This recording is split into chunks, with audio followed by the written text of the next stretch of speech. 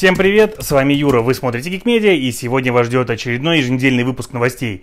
А, сегодня не понедельник, но все это потому, что, как выяснилось, мне тоже нужно отдыхать, и поэтому мы Geekmedia соорудили такой небольшой семейный кемп, и выходные провел на нем, поэтому новости снять не успел, и смотрите вы их не в понедельник.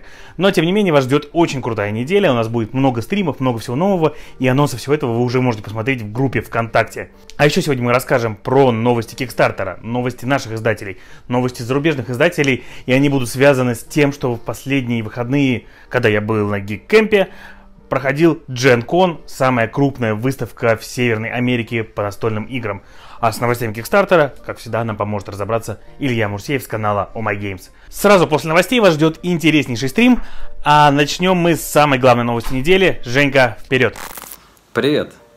А главная новость на этой неделе – Geekmedia провела третий настольный кемп. Мы ездили в Подмосковье и целые выходные играли в настольные игры. Я такой, подхожу к двери, а там ловушка. Я так, чик, играю карточку, уничтожить ловушку. И открываю дверь. Открываю дверь и останавливаюсь в проеме. И мне в это время на, на, на, на, на, на, 10 стрел в жопу, и я падаю дохлый и счастливый. Как я уже сказал, в эти выходные прошла самая крупная североамериканская выставка по настольным играм, которая называлась Gen Con. И проходит она с 1968 года и впервые проводилась она в цифровом формате из-за пандемии коронавируса. В рамках выставки издатели, конечно же, показывали в цифровом формате свои новинки и рассказывали о планах на будущее – к сожалению, выставка, конечно, не получилась такой масштабной, как она была бы, если бы она была не в цифровом формате, и далеко не все издатели решили поддержать это мероприятие, в связи с чем меня немножко пугают перспективы того, как будет проходить цифровой Эссен. Но давайте же обо всем по порядку. Как вы знаете, на выставке GenCon каждый год присуждается премия Diana Jones Trophy. Я уже неоднократно рассказал о том, что это такое. Если вкратце, то был очень неудачный роман про Индиану Джонса, который был полностью практически уничтожен, и его последний экземпляр был смят исковеркан, порван и сожжен, и всего лишь от него остался кусочек, который, на котором было не Индиана Джонс, а написано было Диана Джонс.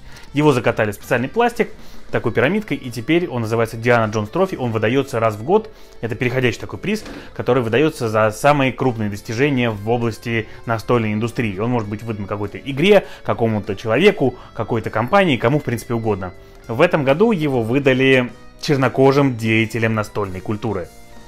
Вот так вот. А в этой премии в этом году было отмечено больше 20 лиц, и вы, я думаю, сами понимаете, в связи с чем это все произошло. Честно говоря, я считаю, что у настолок нет цвета кожи, а, и, нас, и вот это не нужно было примешивать к настольным играм, но кто я такой, и никто меня не спрашивал. А вы расскажите мне свое мнение по этому поводу в комментариях под роликом. Вообще, мне показалось, что организация цифровой выставки была слабовата, но вот Fantasy Flight Games анонсировали целую кучу новинок и показали кучу дополнений, которых они выпустят в ближайшее время. Кроме самолетиков для X-Wing, там были прямо новые самолетики и перекраски старых самолетов, и про перекраски мы уже поговорим еще несколько раз в этом новостном ролике. Они показали две новые фракции для Star Wars Armada. Это была фракция, соответственно, республиканская и фракция сепаратистов. Star Wars Legion тоже продолжаются войны клонов, и они показали две очень клевые фигурки. Первая это взрослый Энакин Скайуокер, а вторая это Дарт Мол. Плюс ваши фракции сепаратистов и республики в этой игре дополнятся дронами командующими и специальными войсками а, клонов, соответственно, для республики. Еще Fantasy Flight Games показали новый сет для Keyforge, и в нем нас ждет, кроме новой фракции, которая заменит одну из уже существующих, то есть вы как понимаете, одна из уже существующих фракций покинет игровой формат, а, еще показали новую механику, это будет механика приливов, у вас будет специальная карточка одна на двух игроков, которая будет лежать к вам либо малой волной, либо большой волной, и вы сможете использовать различные бонусы в зависимости от того, что дает ваша колода и что дает эта карта. Также показали новое дополнение большой карточному ужасу Аркама и все шесть новых маленьких дополнений, которые последуют в этом же цикле. Это дополнение будет посвящено городу Инсмут, и многие фанаты Лавкрафта прекрасно понимают, о чем я говорю.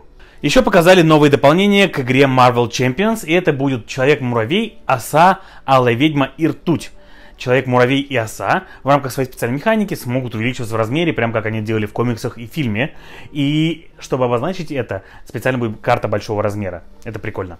А также показали новый большой сюжетный доп к этой же игре, который будет называться Galaxy's Most Wanted. И там будут известные нам злодеи по Стражам Галактики, а также будут Грут и енот Ракета. Как я уже рассказывал в одном из предыдущих выпусков новостей, будет новое дополнение к Сумеркам Империи. Я уже рассказывал, что в нем будет. Также это показали Fantasy Flight Games, то есть утечка их информации оказалась настоящей. И при всем при этом вы прекрасно теперь понимаете, что Hobby World тоже издадут его на русском языке. Еще показали новую игру по вселенной Marvel, и это будет игра по Людям X. В этот раз это кооператив с кубиками, в котором вы будете передвигаться на самолете между различными локациями и пытаться совместными бросками кубиков замочить злодеев. У героев будут некоторые синергии, и вы, соответственно, будете бросать кубики в этой кубометной кооперативной игре. Честно говоря, мне не очень понравилось, как она выглядит, и вообще странно, что они решили сделать ее именно в таком формате. На мой вкус, это странный выбор. И напоследок показали игру, о которой рассказал на прошлой неделе, Descent Legends in the Dark – и ребята из Fantasy Flight Games сделали это очень забавно. Они сделали вид, как будто стрим закончился. Такие, типа, все, закончилось, хорошо, окей, тогда давайте как бы достанем эту коробку с стола, что она здесь мешается. Он поднимает эту коробку, держит ее вот так, она огр- огроменная такая коробень. И там говорят, нет, нет, чувак, стрим еще идет, стрим еще идет. Он такой, ой, ничего себе. И так. И на этом обрывается трансляция Fantasy Fight Games. Что в этой коробке нам так и не показали за весь Джанкон. Еще не успела Гага привести к нам основной базовый сет игры Unmatched, а уже объявили 125-й доп к этой игре. Я, конечно, про 125 шучу, но допов уже вышло достаточно много, и еще много было объявлено. Новый доп будет посвящен Баффи, убийце вампиров. В нем будет 4 новых персонажа, и я вот сам лично очень жду дополнения по Звездным Воинам, потому что, как вы помните из моего обзора на игру Unmatched, эта игра начиналась как раз с игры по Звездным Войнам. Издательство Локи, про которое мы неоднократно рассказывали у нас в обзорах, в частности, у нас есть целая детская рубрика, которая рассказывает про детские игры, а издательство Локи издает очень красивые детские игры, объявило новую игру, и называться она будет Charlie Detective. Как вы понимаете, это детективная игра настольная для самых маленьких. Переиздание получит сразу две коробки игры Shadows of Brimstone. Это две базовые игры первого сезона. И в новом издании будут минки покруче, на картах поменяют некоторые слова, некоторые способности, допилят текст и внесут некоторые изменения в компоненты. И вот скажите, что теперь владельцам первого сезона, не переизданного, покупать теперь апгрейд паки, что ли, опять? Еще переиздание получит любимая многими игра Антуана База «Семь чудес». И вот здесь уже изменения будут чисто косметическими. С визуальной стороны она изменится, и поэтому старые дополнения, которые у вас были, под новую базу не подойдут. А вот Санторини получит новое издание, и оно будет отличаться от предыдущей коробки. Это будет новая версия, и действие будет происходить в Нью-Йорке. Вы все так же будете строить города, но здесь вам нужно будет захватить статую свободы, у вас будут новые другие карты, и у вас даже игровое поле будет не квадратное. Если вы не знаете, что такое Санторини, рекомендую посмотреть обзор у нас на канале. Издательство Pandasaurus Games продолжает доить тематику парк простите, не парка, острова юркского периода, как они его назвали, и они выпустят игру Roll and Ride в этой самой, ну скажем так, вселенной. А еще они сделают одну игру, тоже с динозаврами, но уже немножко по другой вселенной. Короче, видимо, у них какой-то фетиш по динозаврам. А, игру, которая будет называться Gods Love Dinosaurs. И она выглядит немножко странно для меня. Ну, посмотрим, может быть, игра будет классная. Mythic Games порадует нас анонсом того, что они сделают в настольном варианте игру Darkest Dungeon – это очень популярная цифровая франшиза. А вот Renegade Games в рамках Con анонсировали игру Embarcadero, которая скоро выйдет на Kickstarter, и это евро. В ней нужно вам будет разыгрывать карты, размещать грузы так, чтобы контролировать склады и получать как можно больше победных очков. По внешнему оформлению она почему-то очень-очень напоминает Маракайба. Вот вы посмотрите на коробки и реально прям похоже. А еще они также показали геймплей игры по вселенной вампиров Маскарада. Игра будет называться Rivals, я про нее уже рассказывал, и многие фанаты этой вселенной узнали в этой игре многие элементы из Vampire The Eternal Struggle. Это старая карточная игра, по которой даже в Москве проходили турниры, и вот если присмотреться, то карточки построены по тому же принципу, и даже символы на них не претерпели сильных изменений. Интересно, это новая версия той игры, или это они просто сделали что-то похожее внешне? Кстати, ребята, данный новостной выпуск проходит при поддержке магазина meeplehouse.ru. И это, если вы не знали, производитель офигительнейших игронайзеров для настольных игр, Они подходят под любые игры, вы можете сочетать их между собой как хотите. И кроме всего прочего, у ребят есть магазин с настолками, аксессуарами и всем, что вам может понадобиться для настольных игр, в том числе те самые органайзеры. Если вы не знаете, как это выглядит, я рекомендую вам посмотреть ролик, который сейчас вот идет вот здесь. В нем показано, как в эти Мипл Хаусы уложить э, игру Робинзон Круза. Как мы уже говорим, как от Мипл Хаусить Робинзона Круза. И как я уже сказал, которую неделю подряд с новостями Kickstarter нам помогает разобраться Илья Мурсеев из блога Oh My Games. Илюха, привет! Друзья, Юра, всем привет! И Kickstarter мы начнем тоже с переиздания. В этот раз это будет игра Райнера Кница и Тутанхамон. Эта игра представлена на Kickstarter с новыми иллюстрациями от художницы, которая иллюстрировала игру, которая называется Небоскреб Сити. В этой игре вы отправитесь по Нилу в гробницу, где будет упокоен Тутанхамон, и попутно будете жертвовать ему в гробницу различное свое имущество. Кто больше имущества пожертвовал, тот и станет верховным жрецом и получит больше очков. По-настоящему это такой set collecting, который, честно говоря, мне не очень нравится, как внешне выглядит. И, судя по правилам, честно говоря, игра тоже не особо интересная. Хотя Райнер Кница отличается тем, что у него очень простые правила, и игры изначально выглядят банально, но в них есть глубина какая-то такая вот определенная. Илюх, тебе, кстати, какая игра Райнера Кница нравится больше всего, и что думаешь про Тутанхамона?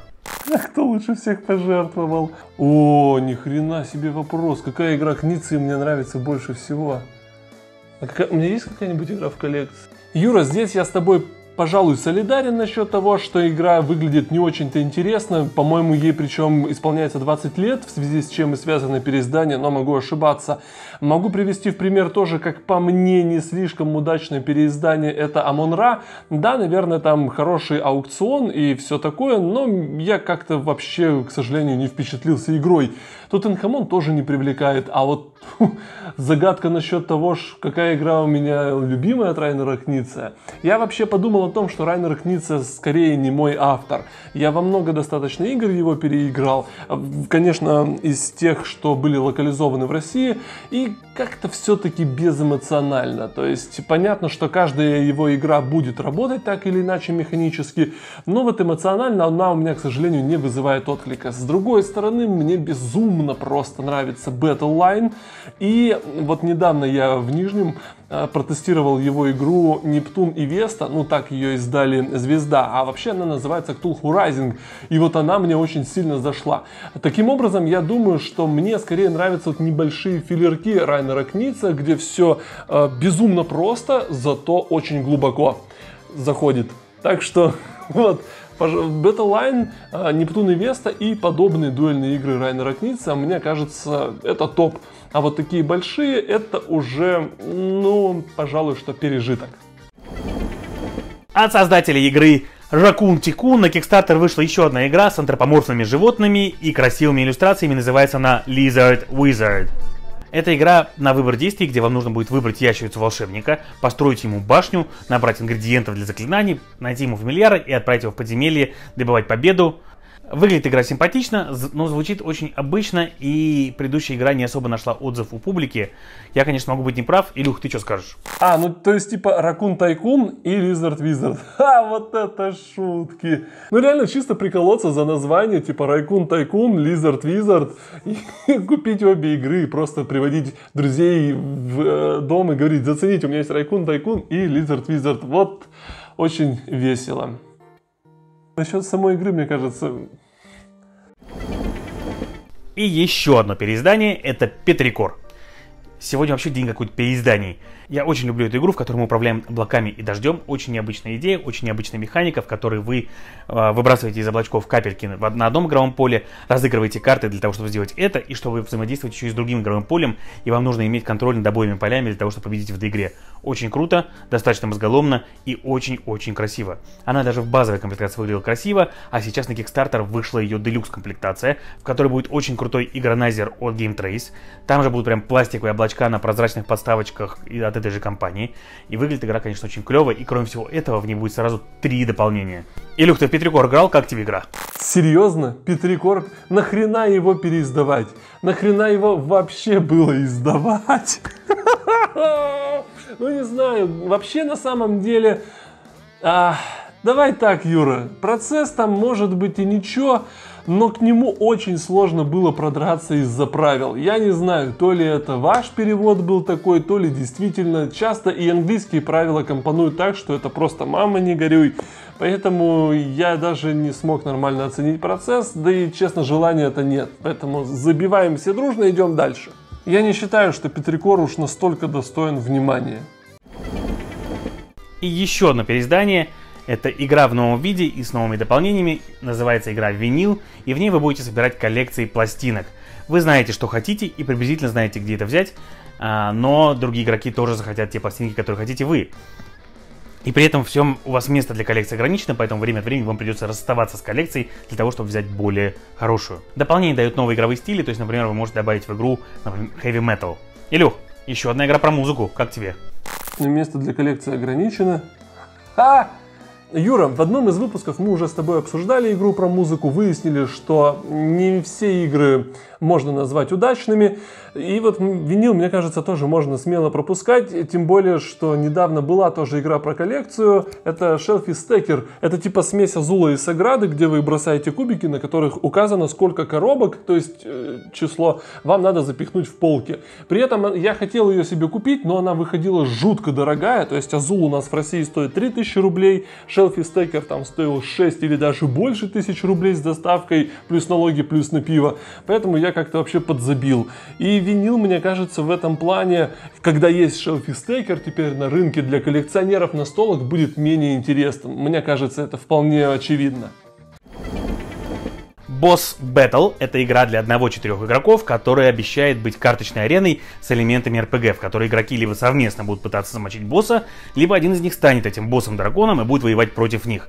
А, и самое интересное, в игре обещают поле, которое позволит вам прочитать действия оппонента на два хода вперед, и в принципе все. На мой вкус что-то не то, но 20 тысяч долларов они уже собрали. Тебе как, Илюх? Вообще реально ничего интересного нет. И босс Battle тоже не выглядит интересным. У нас э, был локализован босс Монстр, который мне несколько лет назад расписывали как просто великолепнейшую карточную игру. И этого в ней не оказалось совершенно. Пропускаем, короче, весь Kickstarter сегодня, Юрец. Это какая-то херня. Давай по новой все как-то они загнулись. Но они, видимо, выжили все силы на Dead Reckoning и вот э, Perseverance э, от автора анахронности. Вот эти два проекта были прям таким глотком свежего воздуха на Kickstarter. Сейчас уже Спасибо тебе, Илья, за то, что участвовал в наших новостях и сегодня. Ждем тебя на следующей неделе. А я хотел бы вам напомнить о том, что если вы хотите получать больше информации про настольные игры, вам стоит подписаться к нам на Boosty, потому что, например, по ссылке в описании снизу вы уже можете посмотреть. Мы наснимали дополнительных 50 игр, это летсплеи, анбоксинги и обзоры, которые доступны эксклюзивно для наших подписчиков на Boosty. Присоединяйтесь к нам и получите, кстати, доступ в наш чат, чтобы общаться с нами в любое время. У нас там много приятных, хороших людей и всегда обсуждают самые свежие новинки и самые интересные игры. boosty.to slash. Подписывайтесь на нас. Продолжаем тему переизданий в рубрике теперь уже про наших издателей. И Hobby World выпустили вторую редакцию карточного Pathfinder. Вторая редакция в основном отличается измененными иллюстрациями, оформлением, но есть и некоторые изменения игрового процесса. Причем при этом она подходит под дополнение первого издания, и вы сможете их спокойно смешать. И еще скоро выпустят большое приключение для подземелий и драконов, и оно будет проходить в Waterdeep. Это прям звучит очень ностальгически и круто. И в нем вы отправитесь искать сокровища. А, и, кстати, я же обещал вам DnD, поэтому не пропустите наш стрим 12 августа. А для карточного ужаса Архама скоро поступит в продажу дополнение Лабиринты Безумия. Его можно играть отдельно или сыграть как мини-кампанию из трех сценариев, а с двумя коробками этого дополнения вы можете сыграть сразу в 12 человек, и ваши партии будут идти параллельно. Звучит прикольно. Лавка игр сообщила, что выпустит дополнение Ante-Up, и это первый большой доп к легендам Дикого Запада, в котором вас ждут новые персонажи, новые карты и целый поезд, который вы сможете грабить, если вы играете за бандитов. А еще Лавка запустила предзаказ на Виконтов Западного Королевства. Обзор у нас вы можете посмотреть на канале. Он вышел в понедельник. Но игра уже закончилась на предзаказе, поэтому вам она не достанется. А Магеллан издаст на русском языке игру Bloomtown и назовет ее «Город мечты». Это семейная игра, в которой вы будете из тайлов строить процветающий город, чтобы набрать себе как можно больше очков. И это все на сегодня. Спасибо, что смотрели новости от Geek Media. Не забывайте, что в магазине meeplehouse.ru проходят постоянные акции и скидки, и вы можете выиграть различные игры у них. А если вы хотите больше контента по настольным играм, и в том числе видеть записи наших стримов, подписывайтесь на Boosty, на нас. Ссылочку вы найдете в описании. И не забывайте, что прямо сейчас вы посмотрите классный стрим. А с вами был Юра, вы смотрели Geek Media. Всем пока!